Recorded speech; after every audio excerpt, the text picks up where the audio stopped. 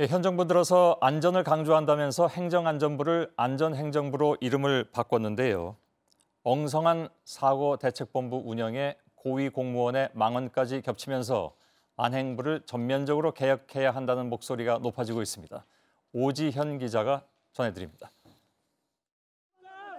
어제 오후 진도 팽목항 이주영 해양수산부 장관이 실종자 가족에 둘러싸여 거센 항의를 받습니다. 고위 공무원이 사망자 명단 앞에서 기념사진을 찍자고 말했다는 소식에 분개한 겁니다. 저 안에 사람 있어! 사람 있어! 확인 결과 기념 촬영을 언급한 공무원은 다름 아닌 안전행정부의 송영철 감사관이었습니다. 송 감사관은 논란이 커지자 사표를 제출해 수리됐습니다. 안행부가 최근 국민들을 분노케 한 건 이것만이 아닙니다.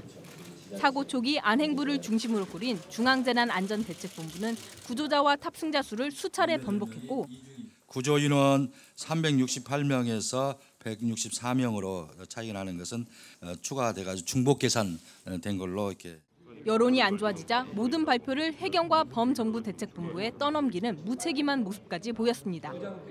이런 안행부에 대해 안전행정부에는 안전도 행정도 없다는 비판이 쏟아집니다.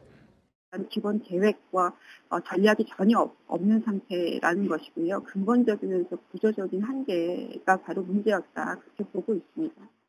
정부 조직과 인력의 안전까지 책임진 공용 부처인 안전행정부. 제 역할을 하기 위해선 전면적인 개혁이 요구됩니다. JTBC 오지현입니다.